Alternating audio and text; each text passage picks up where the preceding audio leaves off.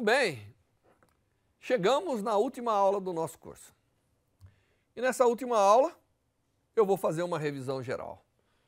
Lembrá-lo que um curso não é apenas para te dar uma formação, é para te dar uma visão. É para mudar você, nas suas interpretações, o mundo que você tem ao redor. Nós não queremos ensinar ciência só para cientista. Nós queremos ensinar ciência para o cidadão, que vai interpretar melhor tudo ao seu redor. Uma pessoa esclarecida nunca é enganada em nenhuma situação. E a ciência tem o papel de tornar as pessoas mais esclarecidas.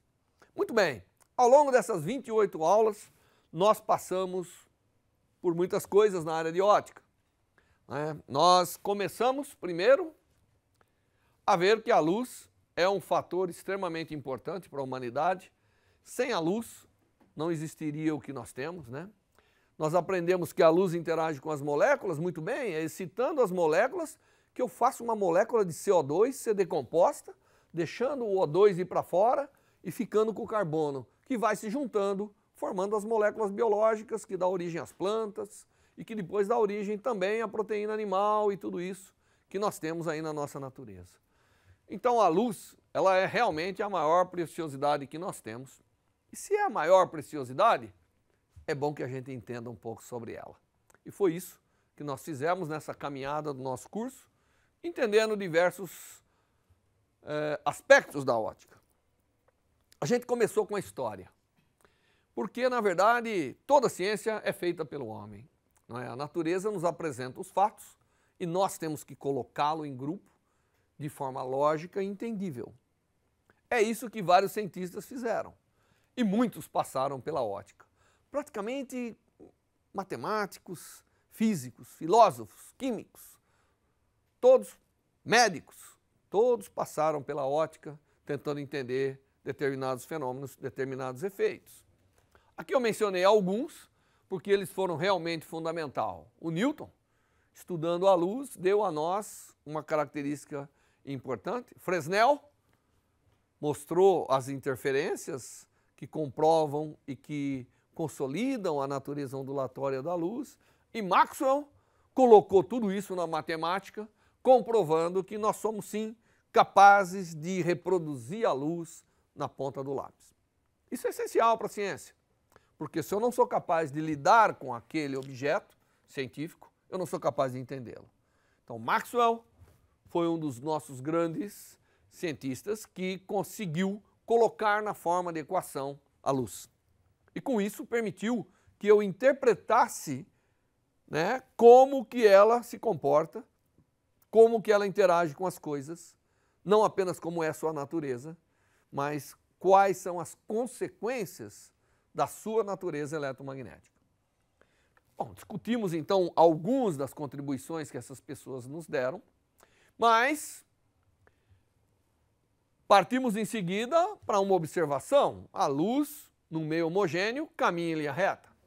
E caminhando em linha reta, reta lembra a geometria, cria a ótica geométrica. E ela nos permite entender qual é o comportamento dos raios de luz, né? lembrando que uma coleção de raios forma um feixe de luz, ou um facho de luz, e que são os raios de luz que vêm das coisas, que me permitem enxergá-las, que me permitem manipulá-las.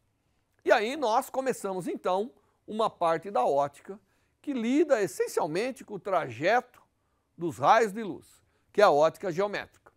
A ótica geométrica tem várias caras, vários aspectos. Nós começamos com a propagação da luz, como é a sua velocidade, que é finita, embora por um tempo achava-se que seria até infinita, mas Galileu mostrou que era finita. E então, na ótica geométrica, nós aprendemos os trajetos. Um raio de luz ou uma coleção de raios de luz, além de se propagar, tem uma velocidade, que é o conceito do índice de refração. Eles podem se afastar um dos outros, ou podem se aproximar um dos outros, ou simplesmente podem caminhar paralelo. Isso dava origem aos chamados feixes de luz, convergentes, divergentes e paralelos. E como eles são extremamente importantes, porque às vezes eu tenho que manipular o tamanho dos objetos, tanto para correção de imagem quanto para enxergar além do que o olho humano permite, é necessário manipular essa geometria. E nós aprendemos então as lentes. Os vários tipos de lente que nós aprendemos, que são interfaces pelas quais a luz se propagando, um raio de luz se propagando, ele sofre desvios. Antes das lentes, nós vimos a reflexão, os espelhos, tanto os espelhos planos quanto os espelhos curvos, mas vimos as lentes na grande aplicação da refração, que é a passagem da luz de um meio de um índice de refração para um outro índice de refração. A mudança da velocidade da luz leva à mudança de ângulo de propagação. E aí nós aprendemos como que esses ângulos variam e aprendemos a utilizar uma lente dessa, uma geometria de um meio transparente, para controlar, para manipular uma coletânea de raios de luz, um feixe de luz, advindo de qualquer coisa. Então as lentes foram um capítulo extremamente importante porque elas estão presentes na nossa vida. Né? As lentes, não só as naturais, como o nosso próprio olho, como as artificiais que eu uso ou para correção, no caso das lentes corretivas, ou para instrumentos, no caso das câmaras fotográficas, no caso das câmaras de filmagem, ou nos instrumentos ópticos de um modo geral. Tá certo? Aprendemos a chamada dispersão da luz, o prisma, que na verdade não só muda a direção da, de um raio propagando, mas muda de acordo com a sua frequência, muda de acordo com sua cor, dando origem ao estudo da composição da luz.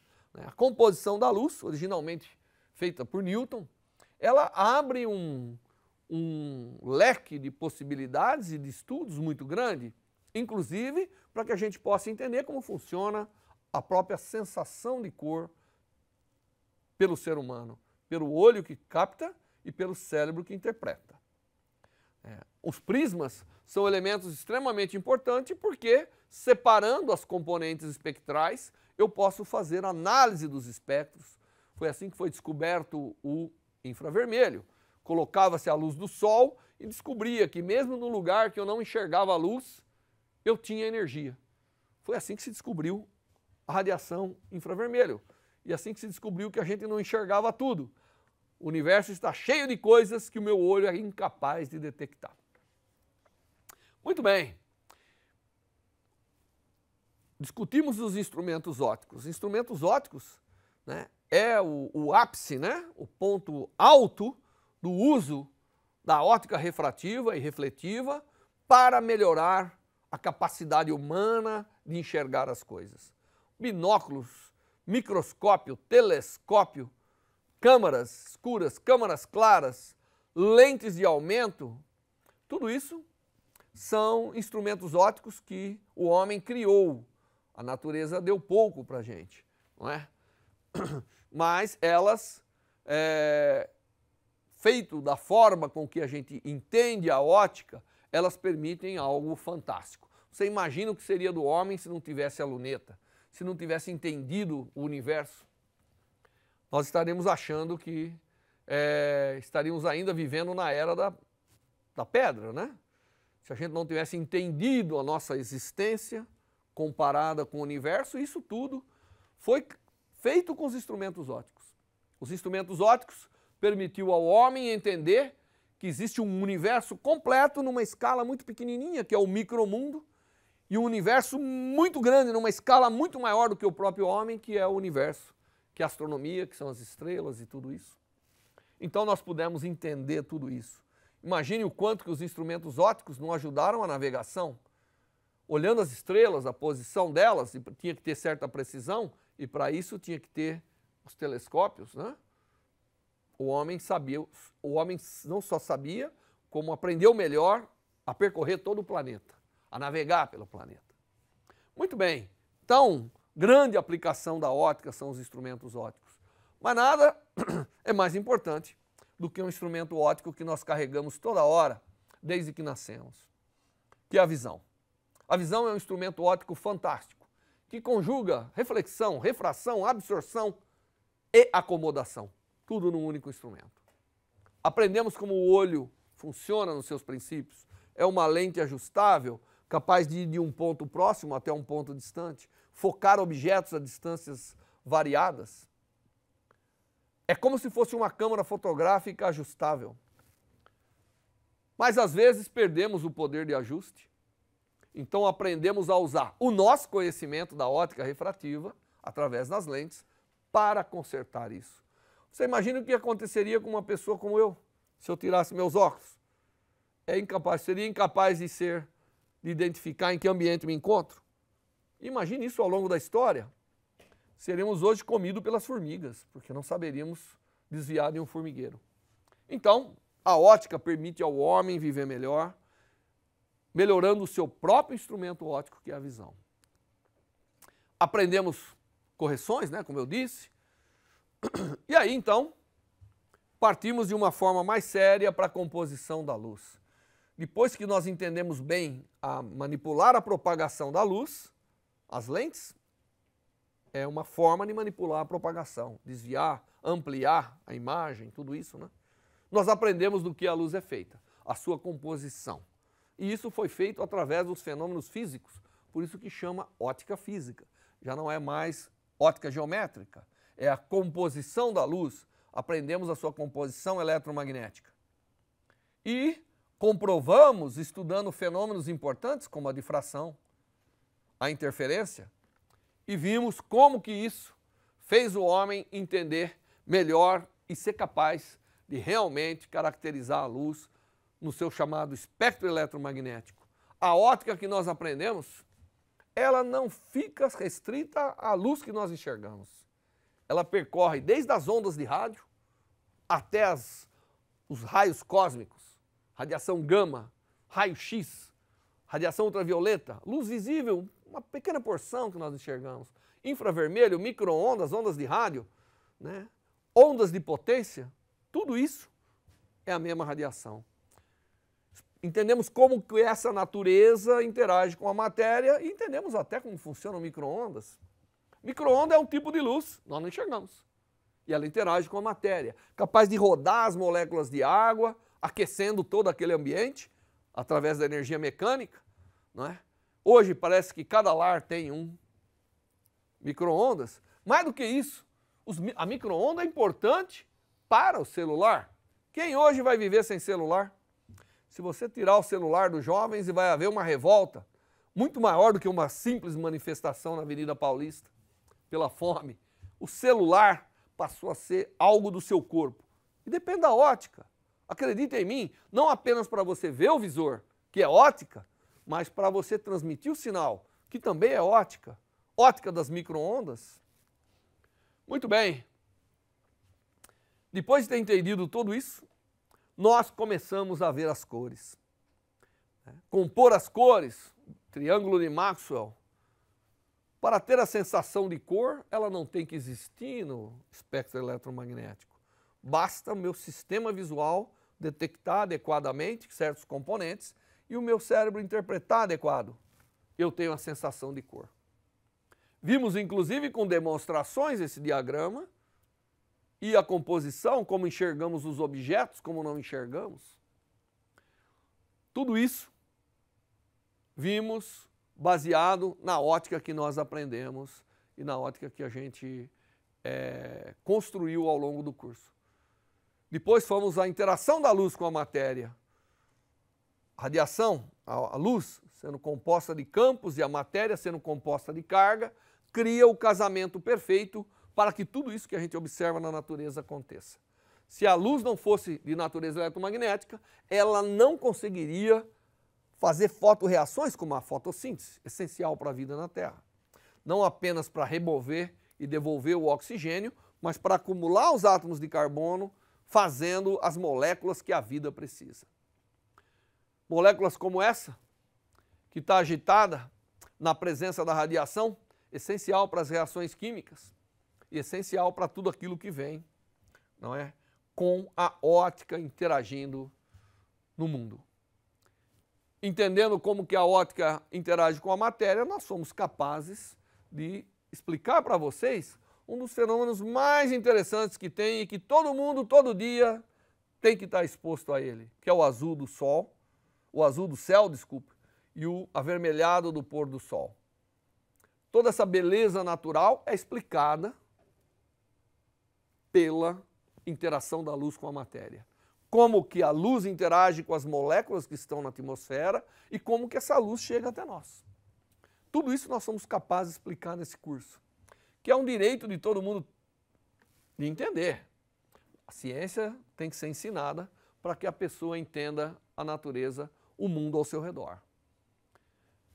Finalmente explicamos as ilusões de ótica, aquilo que é uma composição do detetor com a interpretação. A composição do meu olho, do meu fundo do olho, da minha retina detectando a luz, do nervo óptico pegando essa informação, transmitindo para o cérebro, dá origem a fenômenos dos mais diversos, que são as chamadas ilusões de ótica. As ilusões de óticas estão cada vez mais presentes, não apenas para diversão, mas para interpretação. Hoje, olhando ilusões de óticas, eu sou capaz de ver se o cérebro de uma pessoa está funcionando adequadamente ou se não tem nenhum defeito. E no lazer, né, os filmes 3D, tudo isso, e as análises que somos capazes de fazer com tudo isso. Bem, depois de ter feito um curso inteiro baseado na luz como ondas eletromagnéticas, eu tive que introduzir para vocês o conceito de corpúsculo de luz, que são os fótons, foram na ciência a origem, o pilar principal para o nascimento da mais bem-sucedida ciência que é a ciência quântica. A ciência que entende realmente como átomos se juntam, como se separam, como se juntam dando origem à vida, como se juntam dando origem à transmissão de sinais, como no neurônio e assim por diante.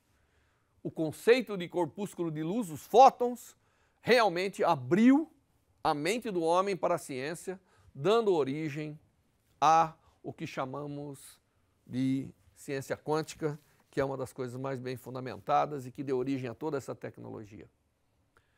Estudamos algumas aplicações, tanto analíticas da ótica como nas ciências da vida.